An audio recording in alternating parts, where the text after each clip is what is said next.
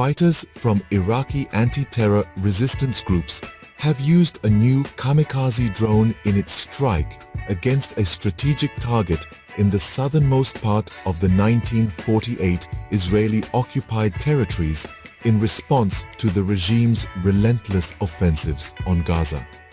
The Islamic Resistance in Iraq, an umbrella group of anti-terror fighters, in a statement published on its Telegram channel, claimed responsibility for an attack on a vital installation in the port of Eilat early on Tuesday.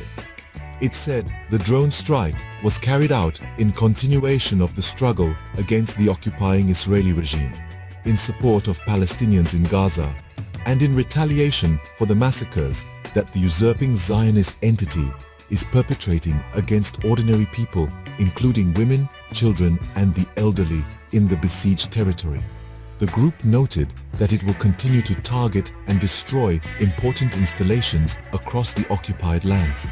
The strike marked the first application of Al-Afad suicide drones in operations against Israeli and US interests in the West Asia region.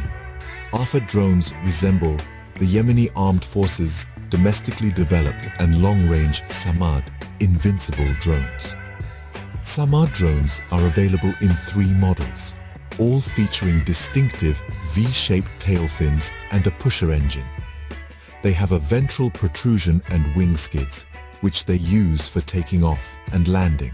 The Islamic resistance in Iraq has been staging many such attacks on Israeli targets since the occupying regime launched a genocidal war on Gaza in early October.